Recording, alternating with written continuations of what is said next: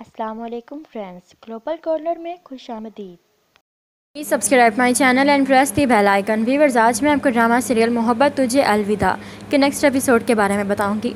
Viewers next episode में दिखाया जाता है कि उल्फत शहान के मुँह पर एक थप्पड़ दे मारती है और कहती है, शर्म नहीं आई है बात करने से पहले? ये नहीं सोचा मेरा क्या होगा?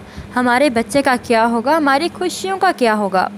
जिस पर शाहान कहता है कि मैं तुम्हें वादों के सिवा कुछ नहीं दे पाया, उल्फत। और वहाँ से चला जाता है और उल्फत बहुत ज़्यादा परेशान होती है और बुरे तरीके से रो रही होती है और अपनी और शाहान की तस्वीर को उठाकर ज़मीन पर पटक देती है और चिल्लाती है झूठे धोखेबाज, जिसके बाद दिखाया जाता है कि शाहान बाइक पर जा रहा होता है और सामने से दो डाकू उसको रोक लेते हैं और उसके पास जो कुछ भी होता है सब कुछ छीन लेते हैं और शाहान बहुत ज़्यादा परेशान हो जाता है।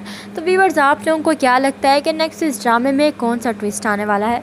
व्यूवर्स नेक्स्ट यही दिखाया जाएगा कि इस ड्रामे में शफक आएगी, जो कि शाहान से बहुत मोहब्बत करेगी। आप लोगों को ये ड्रामा सीरियल और इसका कॉन्सेप्ट कैसा लगा? अपनी कीमती राय का इजहार कमेंट सेक्शन में ज़रूर कीजिएगा। हमारी वीडियो पसंद आए तो लाइक करें और हमारे चैनल को सब्सक्राइब करें। Thank you